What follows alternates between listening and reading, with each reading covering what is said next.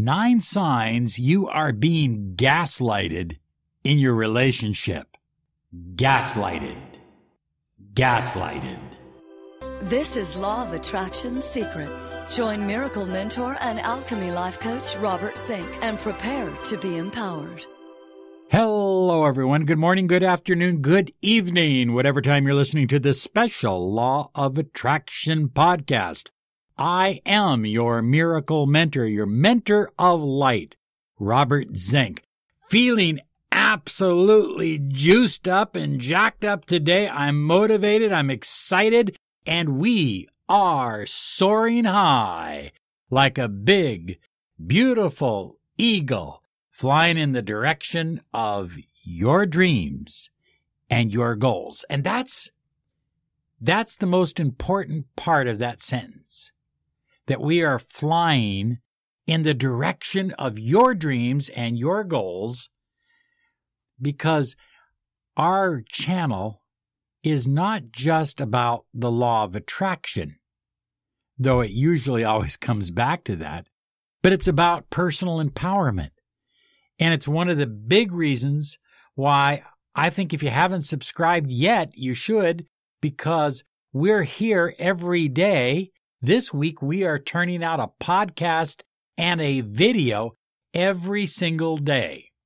And so we're here for you to empower you and to help take your life to the next level. And that's important. Number one, signs that you're being gaslighted. And if you are being gaslighted, you're being disempowered. Okay? You are being disempowered. If you're not certain what being gaslighted is, listen to this and you'll find out. If you're in a relationship that is having some challenges right now, or you're not happy in your relationship, there is a possibility that you're being gaslighted. And so I'm going to go through these nine signs and then I'm going to give you some ideas on what you can do if you are a victim. Ah, you don't want to be a victim, do you? You're not a victim. If you are a recipient of being gaslighted. Number one, you're constantly being lied to by your partner, by your mate. I mean, it's just a constant ongoing thing. It's like, I don't know what to believe anymore because one moment she tells me this, the next moment he says that. You know, one day he says he likes uh, Chinese food. The next day he says he can't stand Chinese food. He likes Mexican food. You know, it's crazy. It just goes on and on and on and on. So if you're being lied to, and a lot of times these lies aren't, well, sometimes they are, but a lot of times they're not huge lies. They're just little lies that are all the time, all the time. And it's a sign that you're being gaslighted, that you're being manipulated, that you're being controlled to some level or extent. Number two, your partner your mate, your lover, they don't keep their word at all. They say, Well, I will be home by two. And then they get home at five or six. But here's what they do you say, Well, I thought you said you'd be home by two. And then they will tell you, I don't know what you're talking about. They make you feel like you're crazy. I don't know what you're talking about. You're out of your mind. I never said I'd be home at two. I said I'd be home as soon as I could. But I never said I'd be home at two. Now you heard clearly uh, out of your own ear that they told you they'd be here by two. But they're not. They, well, for some reason, now believe it's five or six. And that happens all the time. And it can be anything, you know hey, I'm going out with the boys tonight to shoot some pool. And then the next thing you find out is that they weren't with any boys, they were at a dance club. I never said I was going with the boys to shoot pool tonight. I said I was going out, I might bump into them, shoot a little pool, but I was going to go out to a dance club. Again, it's all designed to make you feel like you're insane or like you're crazy, like something's wrong with you. They constantly want you to feel guilty. They constantly want you to feel bad. They tell you you're not worthy. I have a client, honest to God, I mean, really, she was flirting with an old boyfriend over a text message. Her current boyfriend saw the text and broke off the relationship. And she made it clear that they had been flirting for years, that nothing happens. It's just an ongoing game they do. But he didn't buy it. So now, months and months and months later, he makes her feel unworthy. It was your fault. You did it. Had you not done this, we'd be together. Had you not done this, we'd be happy. And he makes her feel very small and insignificant. He is essentially gaslighting her. So they, they tell you that you're not worthy. Oh, you need to take a deep breath right now. I am worthy. I am worthy. Don't ever, ever listen. If I catch you, if I catch you, don't ever let anybody tell you that you are not worthy. You are a beautiful, high soaring eagle flying in the direction of your dreams and your goals. And you are worthy. You're worthy of love. You're worthy of honesty. You're worthy of trust. You're worthy of respect. I'm not saying you're perfect. I'm not saying you haven't made mistakes, but you are worthy. But they'll tell you you're not worthy. Number five, actions and words do not match. Their actions, they'll say one thing, you know, I really love you and I want a long term, permanent relationship with you. I really do. But their actions don't match. They're going out with other people, they're doing other things, they refuse to take any action in the direction of their dreams and goals, or at least what you thought were their dreams and goals, but they're not because you're being gaslighted. Number six, they use positive reinforcement to confuse you. So when everything is going bad and they're telling you how unworthy you are, then they will just shower you with positive reinforcement. And the, the whole idea is to keep you off balance. You're busy jumping from one foot to the next, from one foot to the next, and you don't know what foot to land on. Because one moment you're getting positive reinforcement, the next moment you're being told you're unworthy or lied to. You are about to experience a miracle. Claim your free 30 minutes of miracle mentoring and alchemy life coaching. Visit www.lawofattractionsolutions.com. This is the number one podcast on personal empowerment, success, and the law of attraction. You're listening to the Miracle Mentor of Light, Robert Zink. Number seven, they accuse you of what they're doing. In other words, they are doing something that's not right, and they're accusing you of doing it. And it it's a way of saying, well, look at if you can accuse me, I can accuse you. But you're accusing them because you know it's true. And you know it's a fact.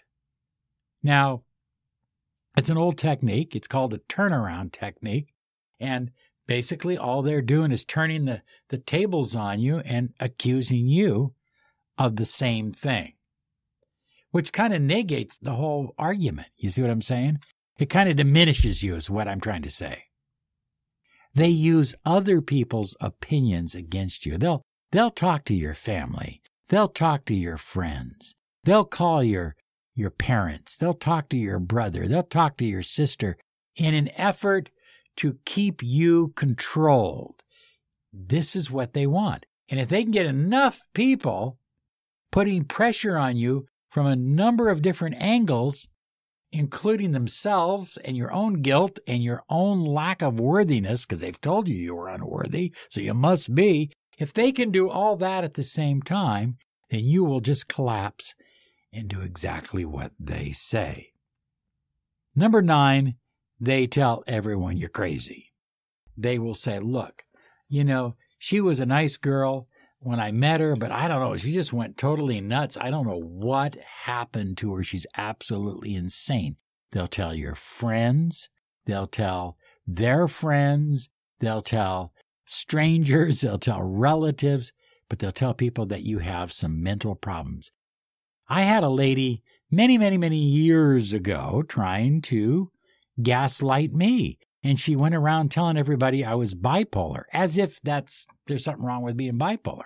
I think some great, great artists are bipolar, but I am not bipolar. I got so nervous. This was many years ago. So nervous, I went in and got diagnosed by two different doctors. And both doctors said, You are definitely not bipolar. You have a lot of other problems, but you're not bipolar. Anyway, but I got gaslighted heavily to the point where I was uncertain of my own beliefs, of what I believed, of who I was. So here's what you need to do take a deep breath, first off. Ah, breathing in that beautiful Ruach energy. Ruach means air, means holy air in the Kabbalah. Number one, fortify. Fortify your inner world with meditation.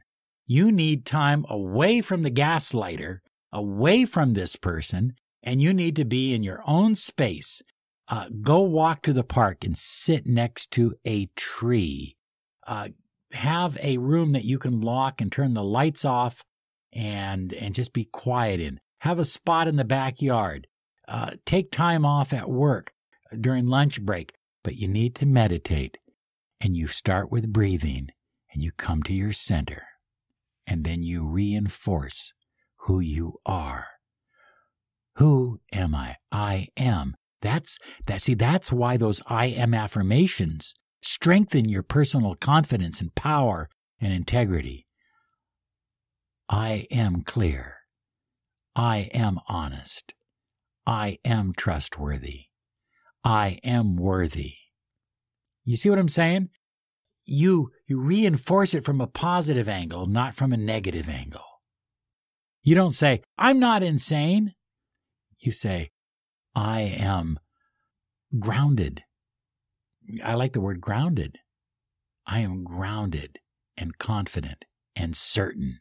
I am grounded and confident and certain. Oh, that's a good one. I just came up with that. I like that hey, listen, try doing it if you get a chance. Try doing it barefooted on the grass or on some dirt and just say that affirmation. But basically, the message is to fortify your inner world with meditation. And if you practice TM or some other form of meditation, you know, that's fine too. That's wonderful. Two, never question your sanity or your core beliefs. Never. I don't care if you've got a thousand people around you. You know what your beliefs are.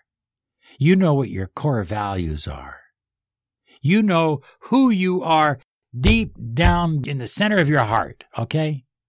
Behind your eyeballs or in the center of your heart, in the center of your soul. You know who you are. Do not ever question it. Number three, trust your judgment. Trust what you hear. Trust what you believe. Trust the choices that you make.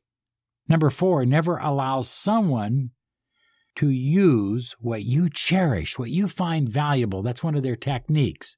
They'll take something you find valuable, your children, your relatives, your home, and they'll use it against you.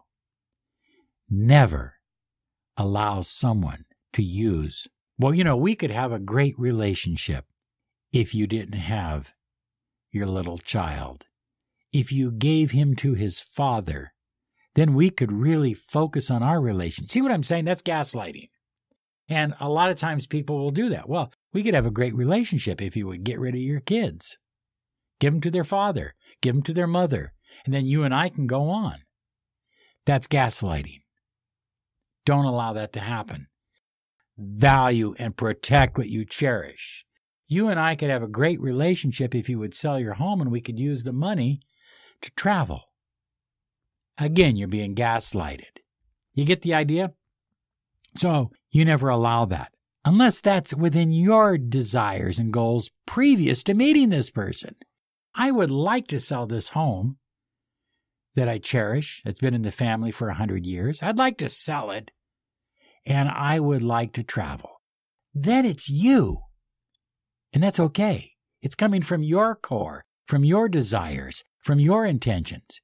You're not being gaslighted. Unless you're gaslighting yourself, I guess. Number five, seek professional. You don't hear me say this too often. Seek professional counseling. Somebody that is a professional. I'm not talking about a psychic, by the way, please. Psychics will gaslight you crazily. Okay, I mean that. Uh, I'm talking about a professional who understands gaslighting. And I would question them before I hired them. Do you have a good understanding of what gaslighting is, how to work with it? Because I'm in a deep uh, situation right now that, and I need help. You need someone else to talk to that has got a sane, clear, concise, honest, open, loving mind. Somebody that's going to see your value and help you magnify it. And number six, hit the road, Jack. Okay, hit the road, Jack. Just move on.